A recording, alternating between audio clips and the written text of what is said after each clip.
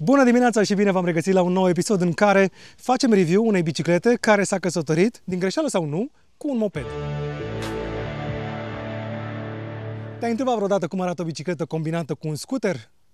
Iată răspunsul. Este vorba despre New Aero, o bicicletă care este jumătate bicicletă și jumătate moped.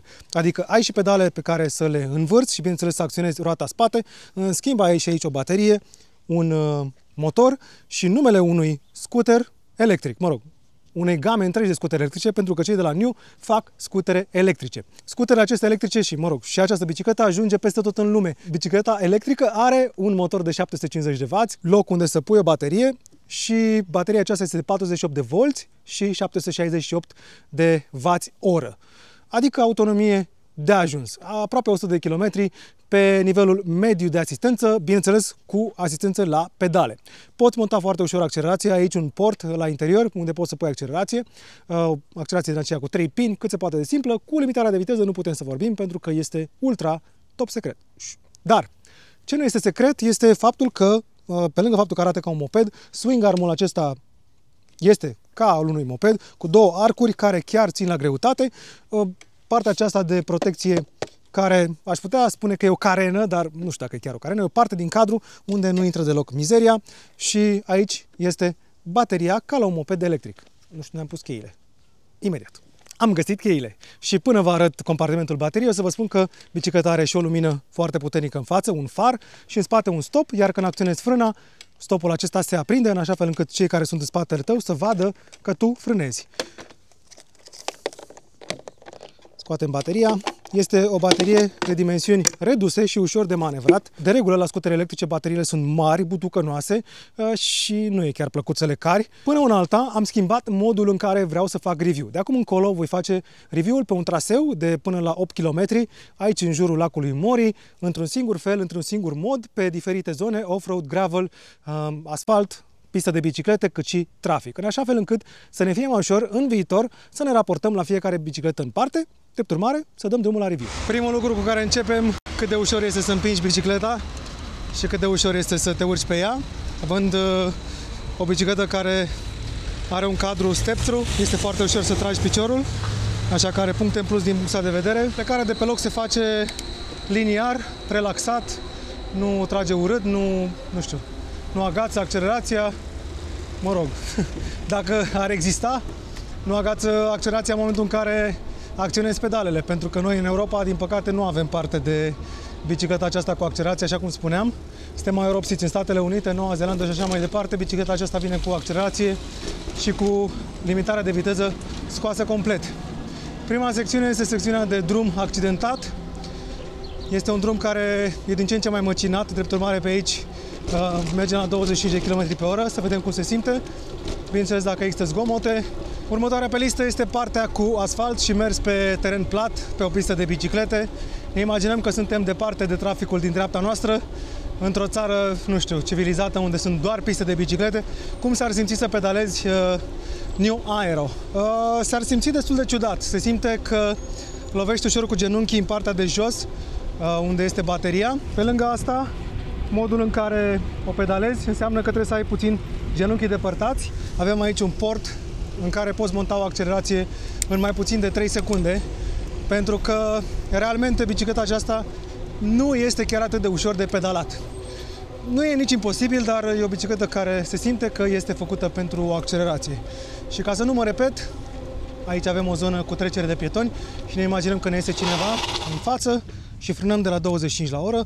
Sunt impresionat de frânele acestea de la Zoom, frâne pe care le-am testat deja pe uh, variantele entry-level de la Devron și care sunt super, super ok. Nu mă pot plânge. Clar, la servisat uh, aceste frâne va fi un pic mai complicat. Mă refer la aerisit se face ușor, dar uh, nu știu dacă ai nevoie de un etrier, de ceva, eh, nu se găsește tot timpul. Display-ul este foarte lizibil, uh, chiar și cu ochelari, polarizați, n-am niciun fel de problemă să văd uh, cu ce viteză merg și aici vreau să văd cum se simte suspensia de pe spate, pentru că vorbim despre două arcuri. În față suspensia este moale și o să vedem imediat pe off-road cât de uh, problematic este lucrul ăsta.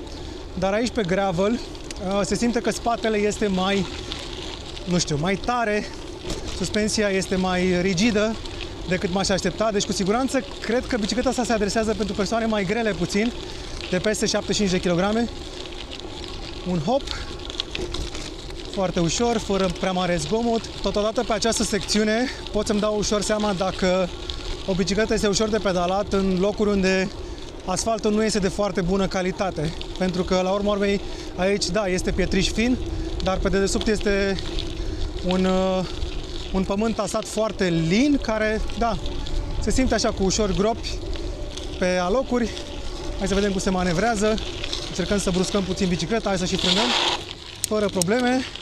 E și o bicicletă grea, de peste 35 de kg, care atunci când frânezi se simte clar că vrea să rămână în direcție dreaptă. Deci mare atenție când frânați pe viraje cu astfel de bicicletă. Aici la această scară avem uh, proba următoare și anume urcarea, să vedem cât de ușor este să urci cu bicicleta. Este pe nivelul sport și trage maxim de pedale. Noroc cu anvelopele, clar trebuie să pui ceva forță în pedale, dar din fericire am reușit să urcăm și acum la coborâre. Cum țin frânele? Bine și înapoi. Uh, se putea mai bine. Hai să spunem că s-a descurcat decent.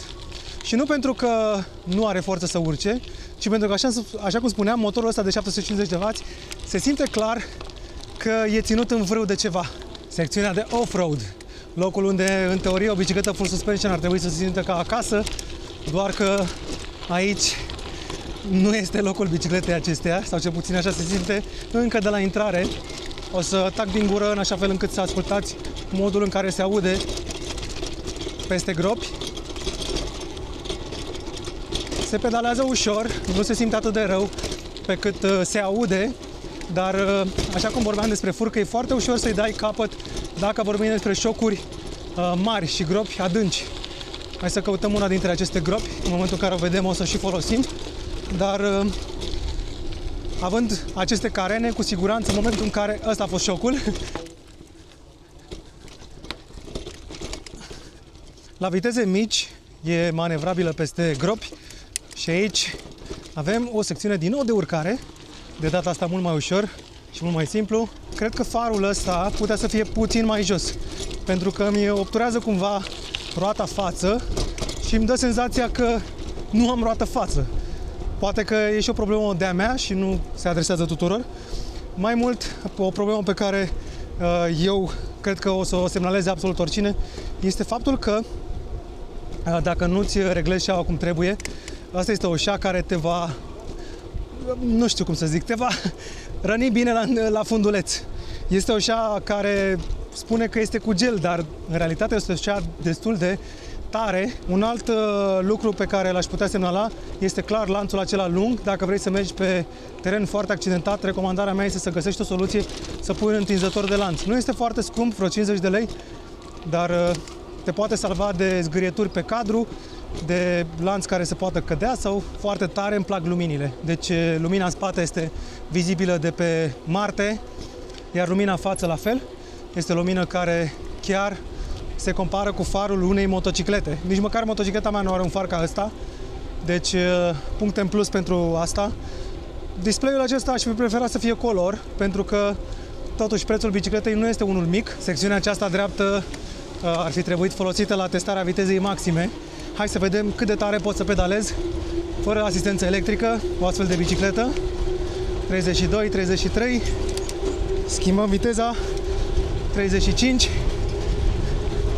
36, iar aici deja ne oprim, pentru că, da, nu e o bicicletă ușor de pedalat. Deci accelerația ar fi schimbat totul. Și nici nu vreau să-mi imaginez cât de distractiv ar fi bicicleta asta fără limitare. Ah. Uh, aici avem secțiunea de trafic unde trebuie să ne strecurăm. Aici eh, este impresionant cât de bine se simte bicicleta.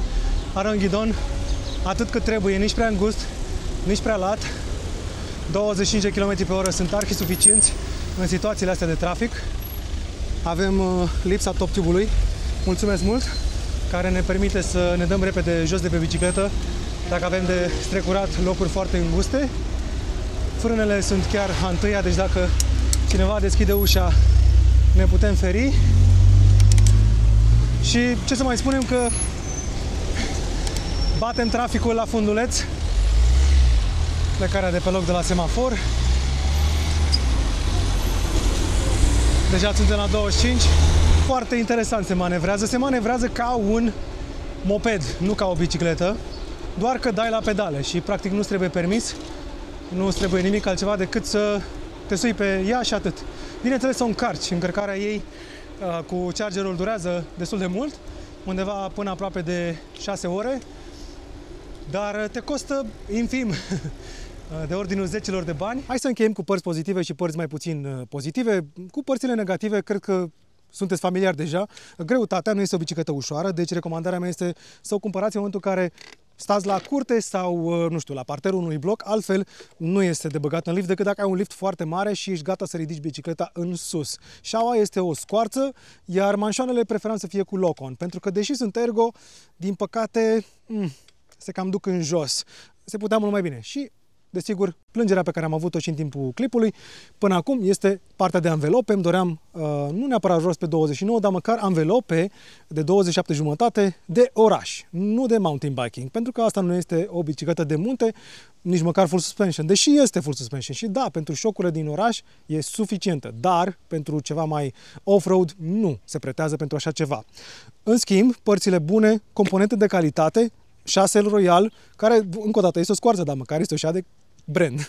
Manșoane Cel Royal, un ghidon perfect lat pentru strecurat în trafic, lumină față și spate, super vizibile, apărători de metal și per total o construcție super, super rezistentă. Adică chiar și plasticul ăsta este un plastic care nu pare că se rupe la fiecare, nu știu, atingere. Aici avem un cadru de metal rigid și schimbarea pe care aș face eu dacă aș ține bicicleta asta pe distanță lungă ar fi să scot limitarea cu siguranță, să-i pun accelerație și să-i pun o furcă cu aer dacă, nu știu, merg pe un teren mai accidentat. Prețul inițial al bicicletei era de 15.200 de lei, care, da, era un preț mare.